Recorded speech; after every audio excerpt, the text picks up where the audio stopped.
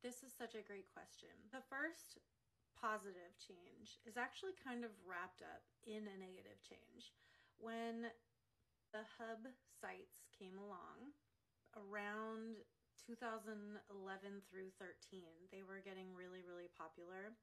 And at first, it seemed like the job was going to go away. The phone was not ringing, so to speak. Uh, stuff got really difficult because companies didn't have money in the way that they had historically. And from that, I, at least, and a lot of other people learned to pick up a camera. I got an editing program and I had a friend teach me how to edit videos.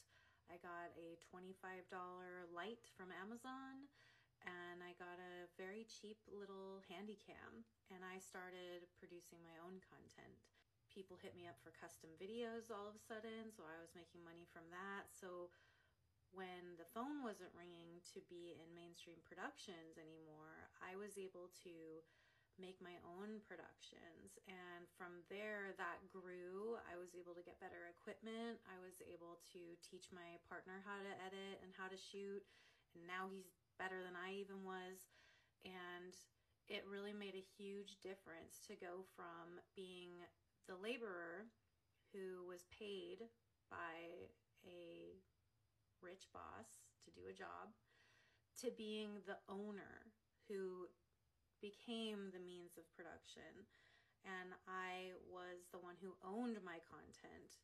And I learned from that that that is how you can grow. I was able to reinvest back into my company. And this was long before site with the fans came. That taught the industry at large that you have a studio in your pocket with your phone. And obviously now we see that all over but owning your own content was a revelation at the time. So even though it felt like a negative thing, it became a positive thing for a lot of us. One bad thing I think for me that has changed a lot in the past 20 years, and not just for me, I don't know, I think a lot of people can relate, is well, just the social media.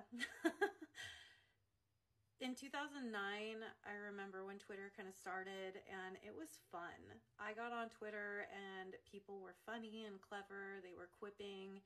It was really entertaining and it was a good time.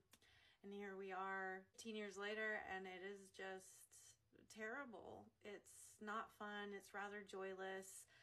I now find myself reliant on social media. I need this app. I need the other apps to promote the work that I do. If and the the products that I make, if I didn't have these apps to promote myself, I people wouldn't know where to go to purchase the products that I make and I wouldn't be able to make a living. So like most things, uh, everything is a double edged sword. Uh, everything is, it seems terrible, but there's a silver lining to it. I will say that engaging with social media, it's very bad for my mental health when I get sucked up into it.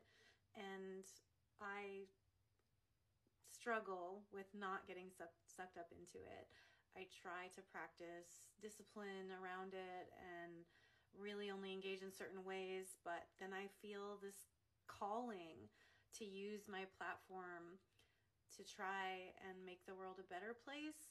So it's a constant struggle for me. This would be the biggest changes that have happened over the past 20 years.